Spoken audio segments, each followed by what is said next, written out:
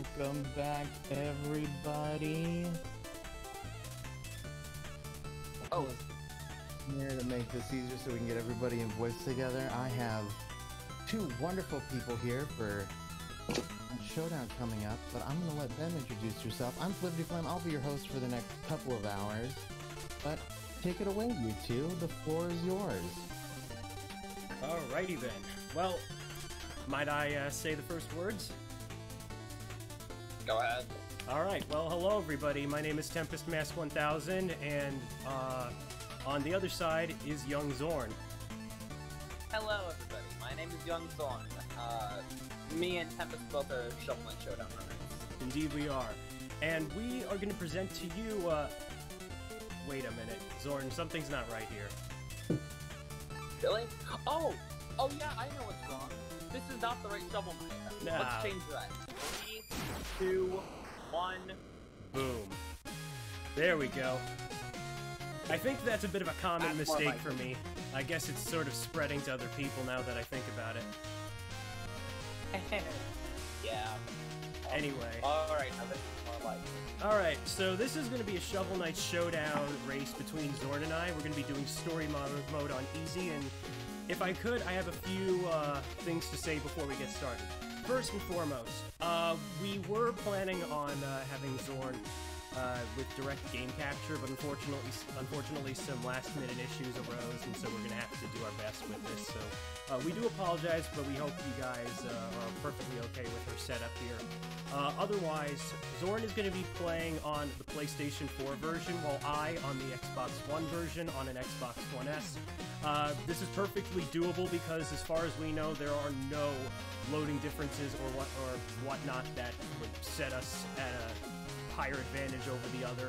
Uh, Shovel Knight is, is a pretty streamlined game as, as far as going from one screen to the next goes. Uh, third, as you might have noticed, we are doing separate characters, so among the four playable knights within the main game, you guys got to donate to choose which character each of us are are uh, are playing, and uh, the top two bid options will be those respective characters. And last but not least, Shovel Knight Showdown is a game that you can run regardless of how many characters or maps you have unlocked, meaning that you can play the game even on a fresh file, like the first playthrough you ever do can be a valid run, and you can submit it to the leaderboard for possible uh, valid check and stuff. So, but for the all intents and purposes, Xorn and I went to unlock as many characters as we could. I'm only two short of the full roster, but Xorn has all of them, so uh, with that said, it should be a pretty interesting one. Oh, and of course the estimate. Uh, I don't expect this race to take 25 minutes, but, um, you know, Things can go very long here. pretty to say the much.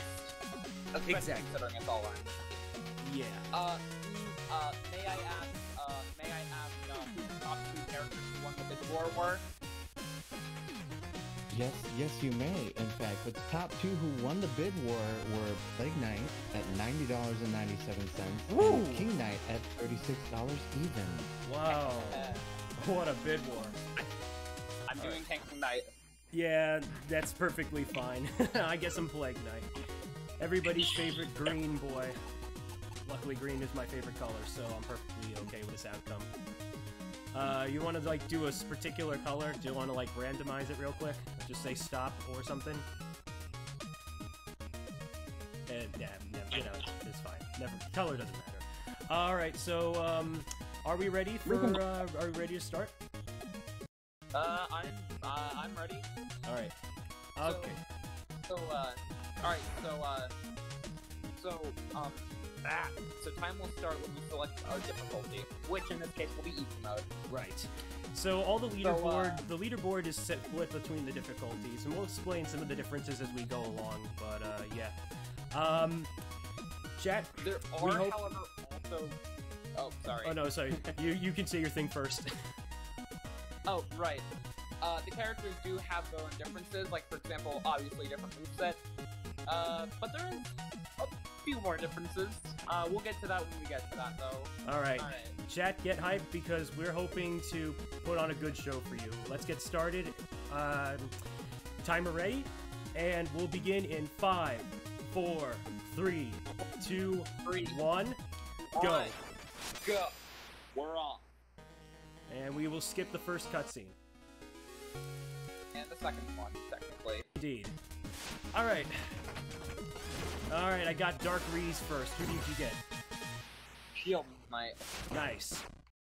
Alright, so this is Shovel Knight Showdown. It's a game that was basically one of the last expansions made Ooh. to all the console versions of the game, meaning that you can't find this on the handheld versions for PS Vita or 3DS. This game is uh, basically Super Smash Bros. inspired, but it does have some notable differences that will set the two apart for sure.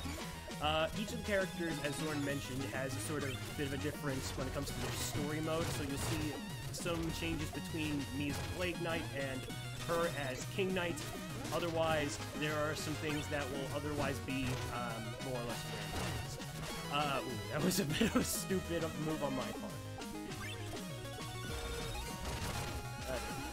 So, uh, you'll notice that my opponent, Dark Reize, and probably Xorn's opponent too, uh, starts off in what's called Treasure Clash, and uh, the first, the CPU's first gem total tallies at a negative number. So, easy mode, that's one of the benefits. Uh, the AI changes, and so does like the starting stats and whatnot.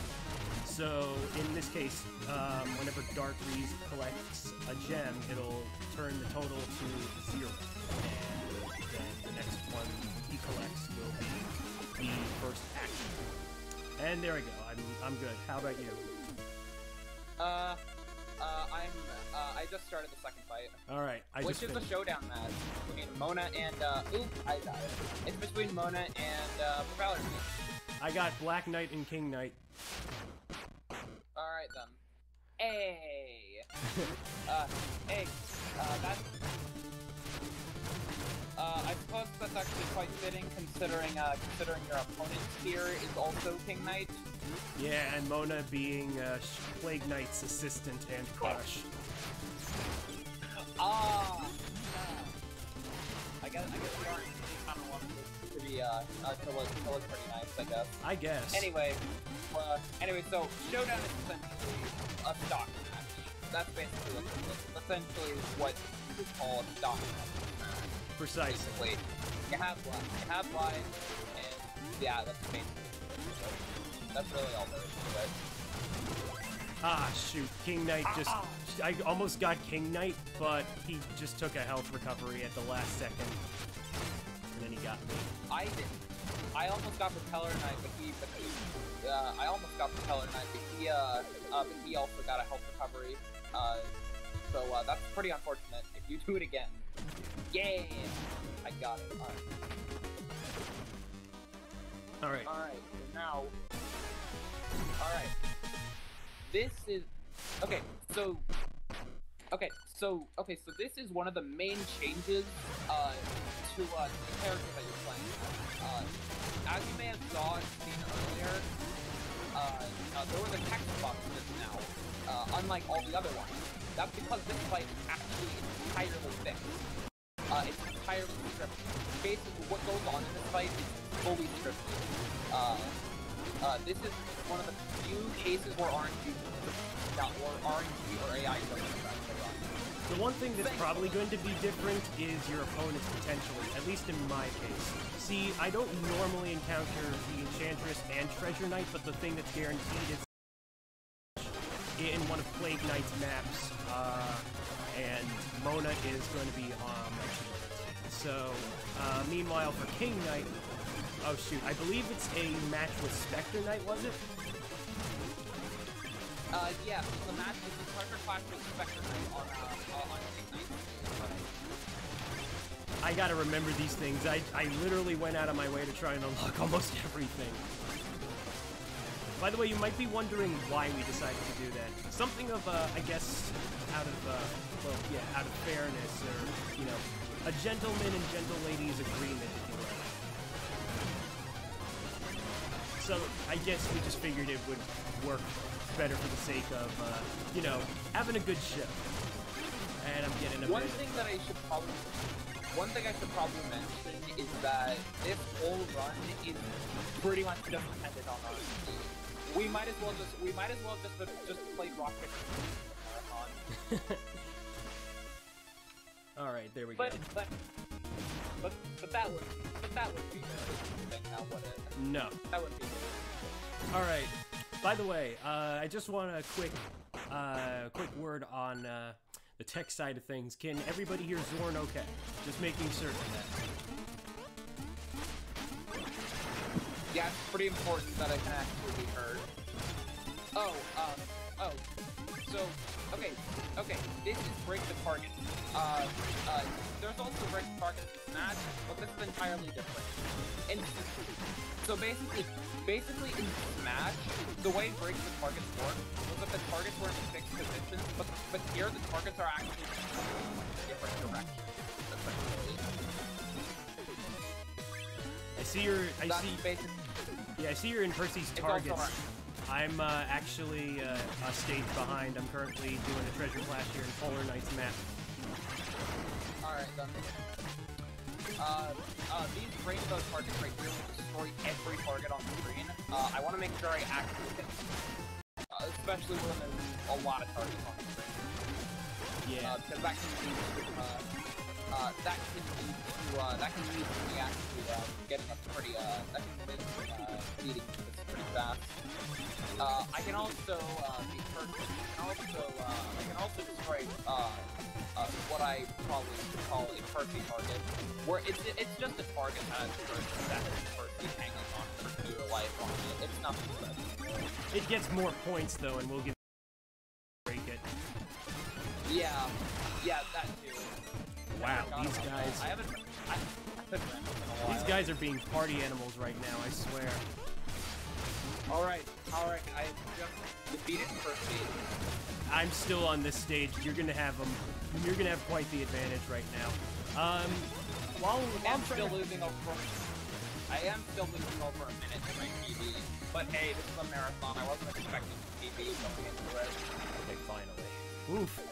Uh, while I'm uh, moving on to target pra- uh, Percy's targets, maybe now's a good time for our fellow host to uh, give any plugs or any announcements if we got any.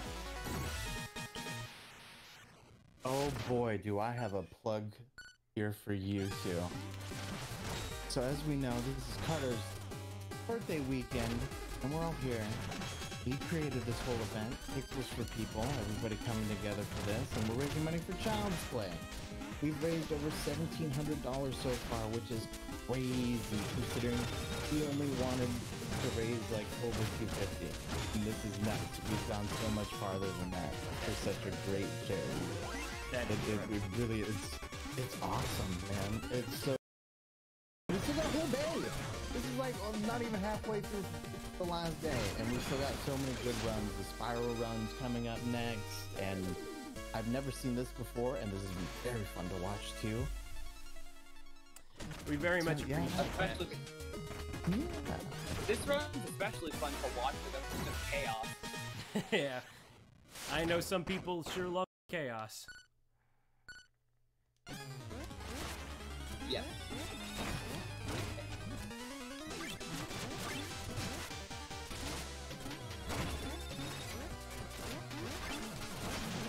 So I did clear Percy's targets relatively fast, and I am on the next stage. So uh, one thing we should explain is the parry system. There are no way, there's no way to like block your damage so, uh, per se. So the only way you can like shield yourself is using a parry system, which requires you to uh, get the timing basically down. And each character has their own uh, unique animation, but the big uh, similarity between all of them just being if the parry connects, they basically blow back the uh, opponents. No damage done, but it sort of gives you distance. Force it forces distance basically. Yes. That. So one thing you'll notice is that within each of the matches, there are definitely some differences sometimes between the rule sets. Like I'm in Vito, uh, what was it, Beto branch, or breach or whatever, where uh, all these beetle-like Porto. enemies are uh, Uh, Murder Bluff. Uh, I'm pretty sure you were referring to Murder Bluff just now. Actually, no, it's not birders. It's the beetles. Oh, Beetle. Beetles. Oh, okay then. Right, but there are some. Uh, I did have an ex- extravaganza uh, match earlier, which involves all item, like a lot of item spawns egg-based items. So burgers being one of those things. I remember, um, uh, um, um, I vividly, I vividly remember this one time I was watching uh, the, the exact run that Tempest was that got me to Showdown. Uh, thank you, Tempest. I'm now fourth on the leaderboard because of Yeah. you. Um, uh, anyway, uh, so, so, so, uh, so there's a Shovel Knight enemy called Predators, which, I, which we had just been talking about, uh, and in the Shovel Knight speedrunning community, we like to refer to those guys as Steve, uh, and, uh, Tempest's real name happens to be Steve. Indeed, I So, say it all the time. Yes. Uh, so that, uh, I am a um, living, breathing Steve. I'm pretty sure. Uh, uh, I'm pretty sure. Uh, uh, I'm pretty. I'm pretty. I'm pretty. I'm pretty sure I said something like. Uh, I'm pretty sure I said something along the lines of, "I see a blue, green, and yellow Steve," and you thought it was a screen issue. Did I really? I don't remember that. Yes, you thought it was a stream issue. I'm What the sorry for that. Not really. Oh goodness. Yeah. Never changed. Oh! Son of a gun, Baz. Oh boy. All right, I told it, but the, all right. Uh, I, all right. I'm now on the. Uh, I'm now on the second to last stage. Wow, that was a weird one. So you might have noticed that uh, we have like two ways to clear matches. Either you gotta meet the clear conditions, or you uh, basically gotta be in the lead when time runs out, and that was what happened with me.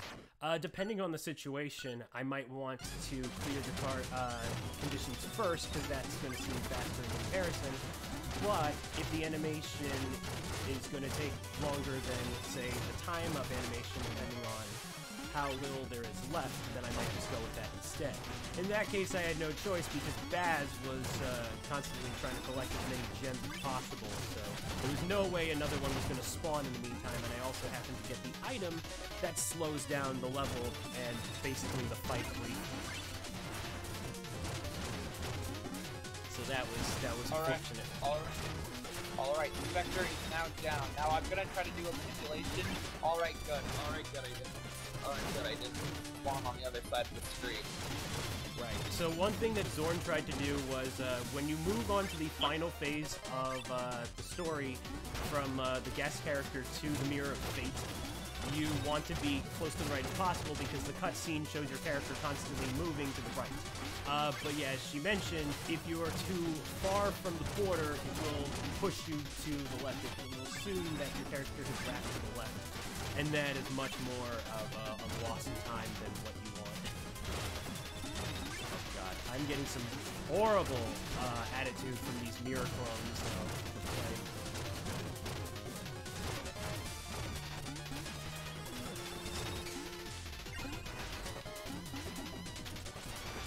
All right.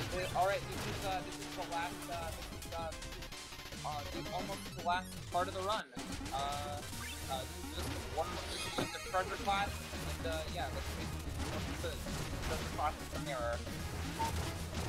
Uh, I'm pretty sure these balls, if they hit any of the gems, they'll end up turning into uh, into bombs. They will, yeah, and that also counts as a way for the mirror to collect gems. So the mirror has like multiple ways, basically. That's one of them. It also tries to spawn a little energy tongue that then encases them in glass, kind of like how some of the treasure clashes work. It also tries to spawn a dark clone that will always die in two hits, and uh, that's basically how it can collect uh, the gems. So ev- um, we want to try and get them as fast as possible. All right. Okay, good. All right. Okay, good. I can just pogo on this guy now. Uh, and the mirror's all right. Uh, the mirror is not a problem. Get ready on time for Xorn. Because Right, the yeah. time is on the Yeah. final hit of the second phase when uh, when the boss immediately runs out of health. I think time should act. I I I personally think time should actually be on the on the on the to lose control of the character. But uh, uh, but yeah, it's on final hit. Yeah, I, I prefer final hit. I think it works. Alright, I just gotta fight Mona. And one more stock. There we go. Now I just gotta go to the right. And I should be on my way. Wait, no, wait, no, not time. All right, now time. GG. Alright, now. All right, and that's that. Okay, so now I just gotta do my treasure clash. All right, that's that. All right, that was uh. All right, that was uh. All right. So, one last thing to mention uh, with the Treasure Clash is whenever you are at match point, the gem will have a much slower spawn than usual. So, I try to negate that by uh, either letting my opponent at least have one gem so that knocking at them out will then cough it up to me. Or I could just, in the case of a match that tries to spawn two gems at a time, I just try to like have an odd number at a time and um, probably let the uh, mirror take one. Although I seem to have nine, and I don't think I did anything particular to let that happen. Oh wait, no, I think it turned one into a bomb.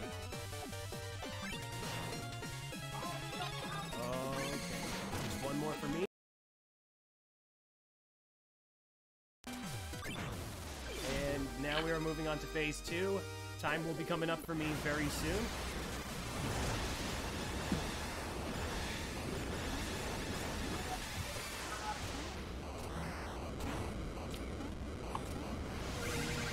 Let's well, not not time yet. Sorry, I the the fight just started.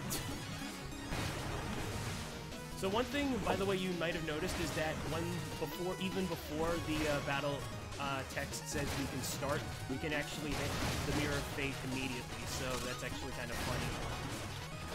Also, if by any chance I were to lose this fight, um, if I made it to phase two, then they restart from phase two. So I'll still be good. I don't like lose in the sense that I have to do uh, the treasure clash again. So yeah. Um, also, we do have continues in case we were to lose any matches. In easy mode, the game gives you nine. Get ready on time. And time. GG.